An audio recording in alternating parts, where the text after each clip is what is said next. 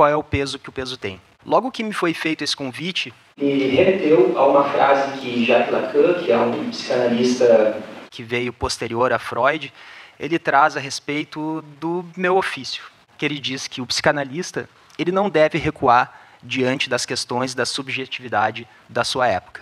E certamente uma das questões mais uh, importantes que a gente tem na nossa época é a obesidade.